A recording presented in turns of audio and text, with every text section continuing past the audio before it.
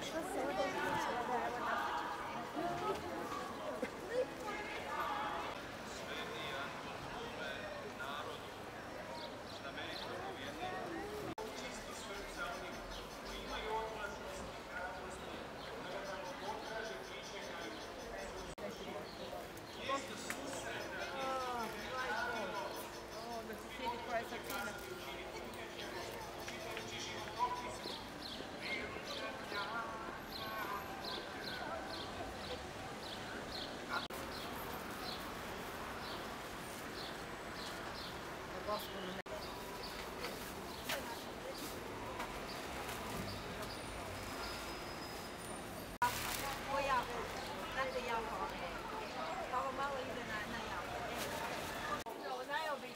Jesu, jesu, jesu.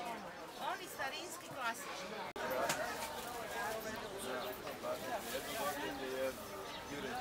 Evo izvolite, puno vam hvala. Hvala vam Bog.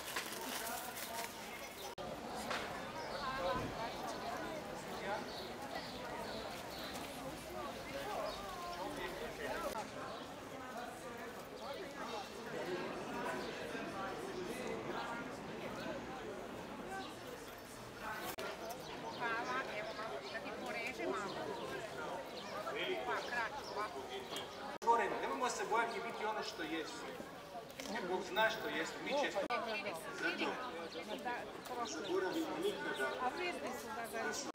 Druga stvar, pozvani smo kao i sveti angeli, reći da Božjem zakonu u svome životu.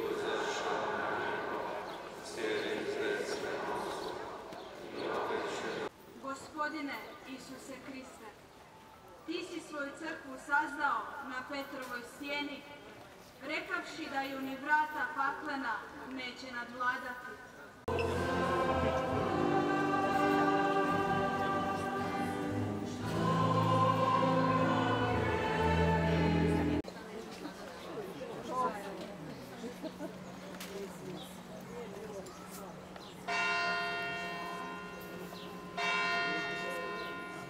Evo jaganjca Božjeg,